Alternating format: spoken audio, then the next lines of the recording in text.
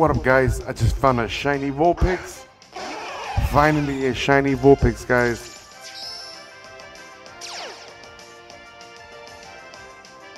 Ah, okay, I have more than 620 encounters I think.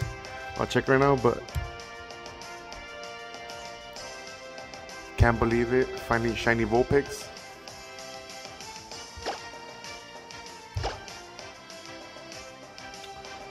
Alright, let's throw a Pokeball at it.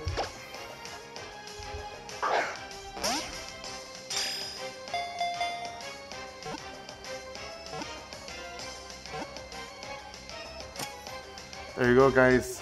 This is so easy, but Shiny Vulpix has been captured.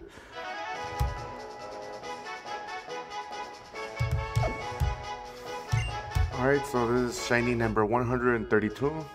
And 600 And 641 DexNav chains. Alright guys, thanks for watching and I'll be posting more videos up soon. And see you next time.